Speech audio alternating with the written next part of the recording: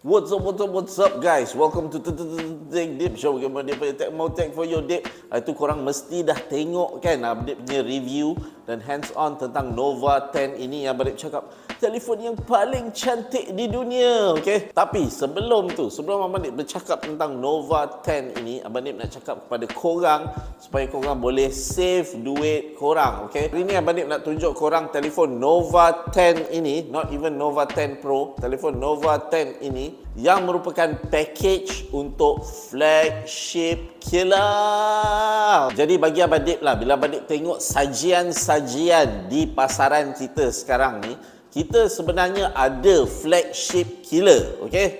Iaitu dalam package uh, telefon macam Nova 10 ini yang dipackagekan dengan harga 2000 lebih. Jadi kalau korang sedang mencari flagship killer harga bawah 1000, harga 1000 lebih tu mungkin korang takkan jumpa lah. Sebenarnya korang tak perlu pun go all out pergi beli flagship sedangkan ada package-package apa mid range phone ni mid range phone yang mahal-mahal ni dalam 2000 lebih okey telefon Nova 10 ini dia retail pada harga 2200 dan juga Nova 10 Pro korang boleh tambah sikit aja pada harga 2700 okey? Screen dia no no question lah. Screen dia ni setanding dengan flagship screen. Pada harga ini korang boleh dapat flagship screen. Pada harga ni juga korang akan dapat telefon dengan 60 megapiksel selfie camera untuk korang yang suka ambil selfie ataupun juga untuk content creator macam Abadib kita sebenarnya suka guna selfie camera sebab kita dapat monitor feedback tu kan. Kita dapat monitor lah apa yang kita sedang record. Jadi sebenarnya kamera selfie zaman sekarang ni sangat penting dan Nova 10 ini telah memberi kita package yang sangat uh, praktikal lah sebenarnya untuk zaman sekarang ni. Untuk buat TikTok untuk apa kita nak tengok diri sendiri menggunakan kamera yang baik dan di belakang pula kita ada kamera 50 megapiksel. Kalau korang tengok DxO Mark, kalau korang tengok uh, semua kamera performance, kamera-kamera yang terbaik pada smartphone, dia hanyalah 50 megapiksel je. Korang tak perlu dah pergi 100 megapiksel, 200 megapiksel. Untuk tahun ini, untuk zaman sekarang ni, 50 megapiksel is the best you can get. Unless korang fotografer, korang professional fotografer, tapi kalau professional fotografer, kau dah ada kamera dah.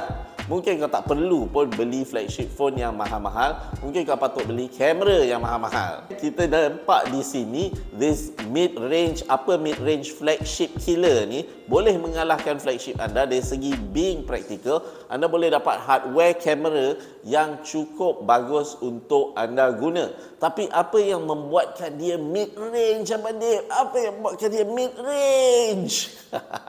Telefon ini datang dengan Snapdragon 778G yang Abang Dip dah tunjuk hari itu. Adakah korang perlu flagship processor tu? Korang just nak share gambar dekat WhatsApp, nak WhatsApp secara cepat kan? Jadi, for most people, korang perlukan processor untuk telefon ini bergerak dengan laju. Laju, laju, swipe laju, swipe laju kan? Nah, itu je. Untuk kebanyakan orang, 80%, 90% orang, korang akan okey je menggunakan uh, mid-range processor macam Snapdragon 778G ni. Benda ni sangat praktikal. Dia nipis. Dia nipis maknanya dia praktikal lah untuk digunakan. Okey, uh, dan dia tidak berat. Itu yang penting. Dia tak berat, okey? Dia tak berat. Yang penting dia tak berat. Jadi korang boleh main dekat uh, sambil baring, korang boleh main sebelum tidur, korang boleh check social media, screen dia besar 6.7 inci. The real flagship killer ialah mid-range phone pada harga 2000 lebih ini. Kenapa korang patut beli Huawei phone juga ialah sebab korang tinggal dekat Malaysia. Okey, dekat Malaysia ni kebanyakan apps dari segi banking, dari segi e-wallet, dari segi game yang korang perlu semua dah ada dekat Huawei App Gallery. Okey, mungkinlah kalau korang tinggal kat US tu support untuk apps-apps, support untuk Huawei App Gallery ni tak banyak.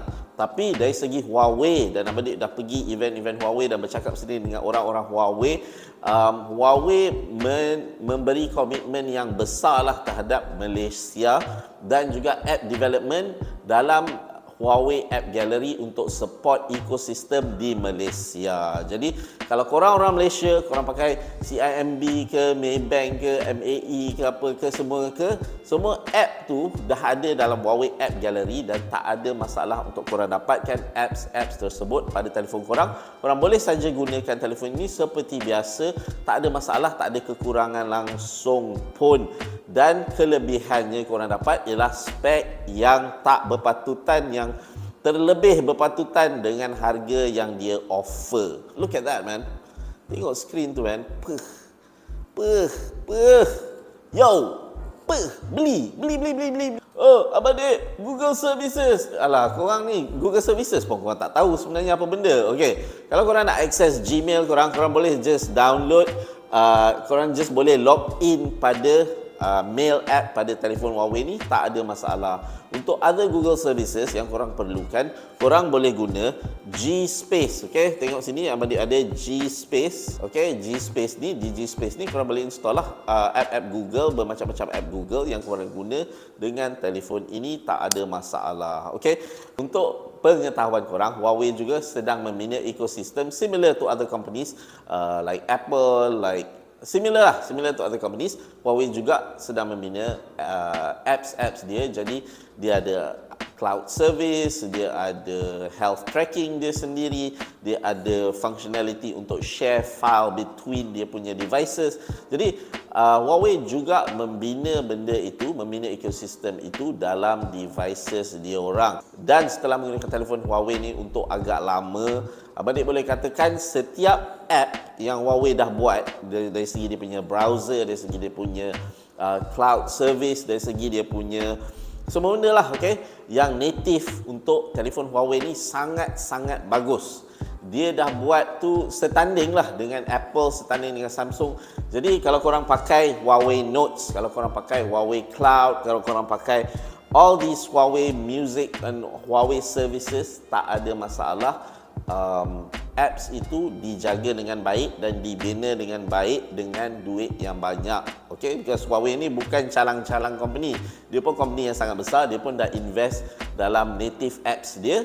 Kalau korang nak tengok review Abang Dip dan juga produk-produk Huawei, boleh komen kat bawah cakap lah. Abang Dip, saya nak Abang Dip review produk ini. Saya nak Abang Dip review produk ini. Okay, nanti Abang Dip cuba dapatkan produk tersebut dan Abang Dip akan review. Tapi untuk produk ini, Nova 10 untuk mid-range apa phone ni, pay attention to this category. Sebab Abang Dip rasa kebanyakan daripada korang tak perlu pun beli 4000 5000 telefon flagship because kategori ini wujud ia ada and ia adalah flagship killer.